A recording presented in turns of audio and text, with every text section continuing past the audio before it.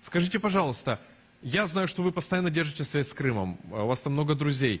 А, Какие настроения сейчас в Крыму? Понимают ли они, что на самом деле происходит? И плавно переходя к теме вот этой вот желтой зоны, что она означает и какие ограничения на себе почувствуют непосредственно люди э, в России и временно неподконтрольных э, территориях Украины?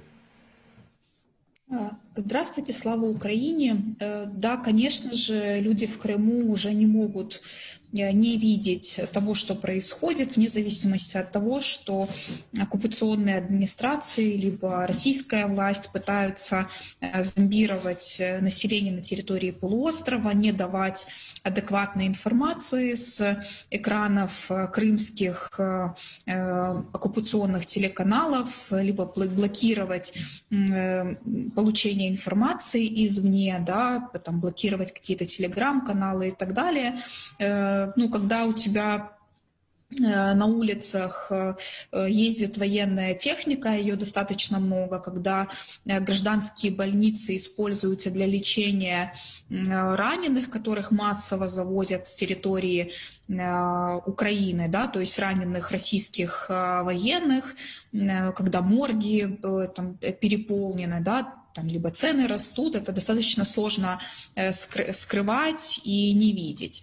Вот, соответственно, да, люди понимают, что происходит, э, часть людей э, не согласна и пытается осуществлять какое-то сопротивление, да, но немногочисленное, но все равно люди выходят на одиночные акции протеста, людей арестовывают, дают административные штрафы там, в виде лишения свободы там, на какое-то количество суток, либо достаточно большие штрафы людям приписывают.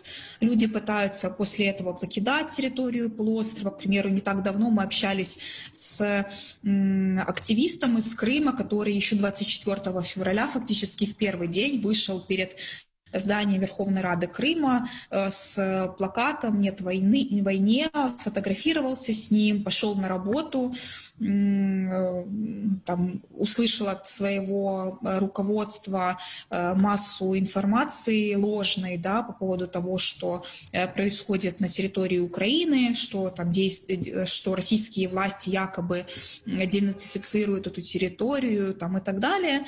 На следующий день даже в этот же день фактически к нему пришли э, домой, э, где живет его мать, где он временно находился, просто в гостях э, люди в гражданском, э, схватили его под руки, повезли общаться в здание МВД Крыма.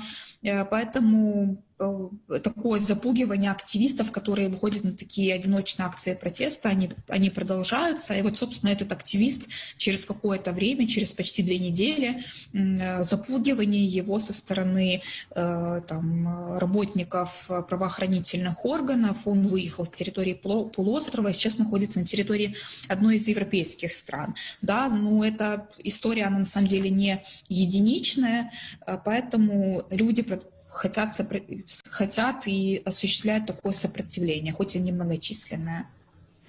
Камила, расскажите, пожалуйста, непосредственно о...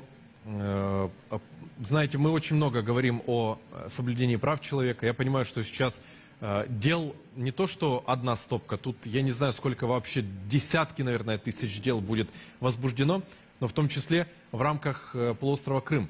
Я знаю, что там последнее время мобилизировали людей, крымчан, на войну против своей же по факту родины, Украины. Скажите, пожалуйста, а под какую статью это попадает и фиксируете ли вы, представительство президента ВР Крым, такие факты? Следует сказать, что на территории Крыма, как и на территории Российской Федерации, началась, э, э, началась призыв э, в российскую армию, да, это весенний призыв начался 1 апреля, собственно говоря. По данным оккупационных администраций, к примеру, Севастополя, призвано уже минимум 500 человек из Севастополя. Что касается того, что фактически срочников отправляют на войну э, против Украины. Есть этому подтверждение, хотя согласно российскому законодательству это запрещено, и российские власти э, всячески говорят, что мы этого не делаем, но факты есть факты, и такие военнопленные, в том числе на территории Украины, были взяты в плен со стороны украинских наших вооруженных сил Украины Э, собственно, на территории полуострова э, мы фиксируем э, похороны, которые там осуществляются, то есть мы это видим и по открытым источникам, и по закрытым. Э, на территории полуострова э, было э, уже там, 40 похорон, из них солдат российских, да, из них, по нашей информации, то, что мы смогли верифицировать, минимум 25 человек являются гражданами Украины, то есть уроженцами именно Крыма. Часть из них, они перешли когда-то в 2014 году и стали там, поддерживать российскую власть и потом служить в российской армии, да, как бы коллаборировали фактически и э, предали э, э, присяги.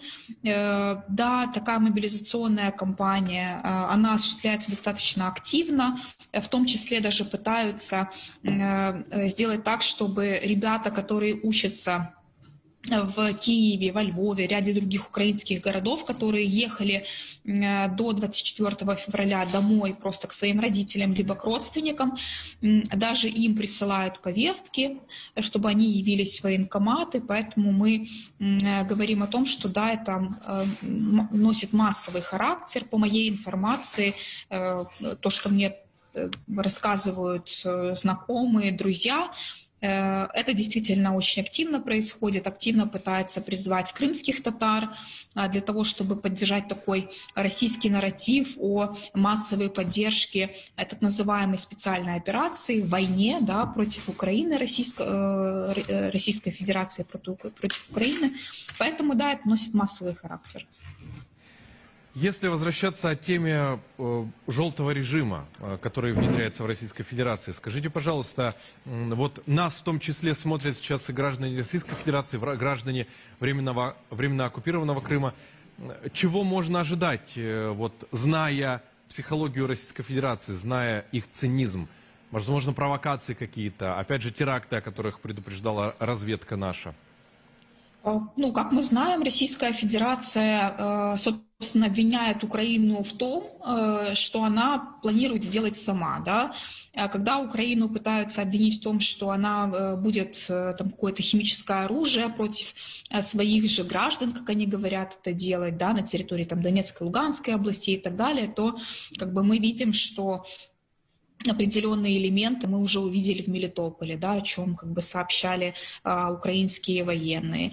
Э, когда э, Российская Федерация или оккупационные администрации Крыма э, говорят, что э, на 15 суток они вводят э, там этот так называемый желтый уровень э, тер э, опасности, да, то мы, конечно же, подразумеваем, что, скорее всего, будут провокации с их стороны и будут обвинены в этом в первую очередь э, украинские граждане, и мы не исключаем те граждане, которые э, были фактически э, вынужденно въезжали на территорию полуострова, к примеру, как жители Херсонской области, да, которым единственный путь путь выезда с, территори- с территории, которая временно не подконтрольна украинскому государству, это через территорию собственно, Крыма, а потом через там, Россию и третьи страны, да, либо э, тех жителей э, Мариуполя, которых незаконно фактически депортировали, да, вывезли незаконно на территорию Крыма, и мы не исключаем, что их будут обвинять э,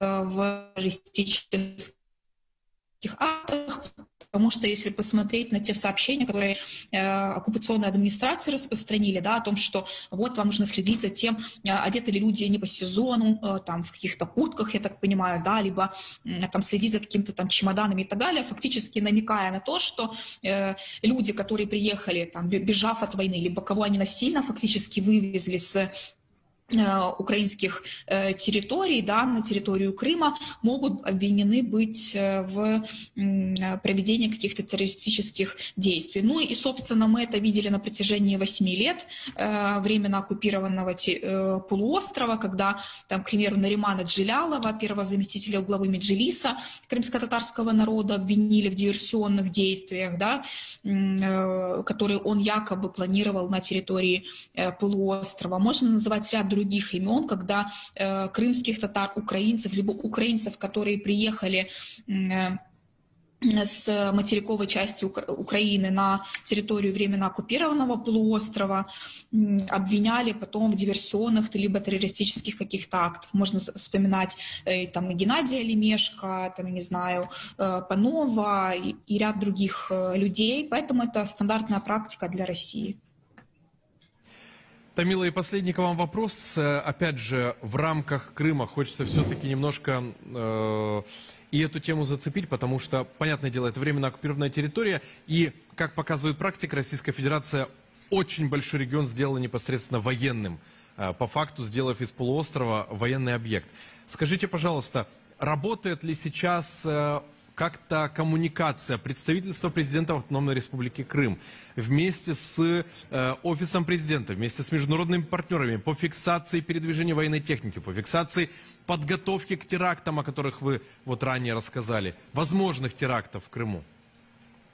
Э, мы на еженедельной основе э, делаем э, такие короткие брифы о ситуации на территории полуострова и рассылаем, конечно же, их украинским компетентным органам, либо делаем такие, такую информацию на английском языке, распространяем нашим международным партнерам. Эта информация касается разных аспектов жизнедеятельности Крыма в условиях полномасштабного вторжения э, в Украину, э, там и социально-экономической ситуации, и ситуации с милитаризацией полуострова, мы неоднократно говорили о том, что Крым за, последние 8 лет стал просто большой военной базой. Да? Следует говорить, что вся территория Крыма, она полностью милитаризирована. Мы видим э, большое количество скопления военной техники на территории полуострова, большое количество военных, и, собственно, Крым был этой вот точкой, да, откуда фактически осуществлялось э,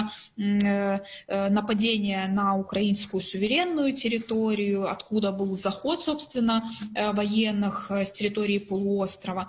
Поэтому, да, это большая военная база, об этом неоднократно мы говорили и в резолюции Генеральной Ассамблеи э, ООН э, относительно милитаризации. В прошлом году она в декабре была принята и двумя годами э, ранее, поэтому международные партнеры достаточно хорошо осведомлены о ситуации на территории полуострова. Мы это делаем на постоянной основе. Не так давно мы вернулись с моей коллегой Марией Томы, которая возглавляет у нас департамент Крымской платформы из поездки в Варшаву, в Брюссель, где мы говорили, собственно, с дипломатами, и в том числе с сотрудниками различных европейских структур, и информировали их, собственно, о ситуации в Крыму, и в том числе э, с милитаризацией полуострова э, после уже 24 февраля.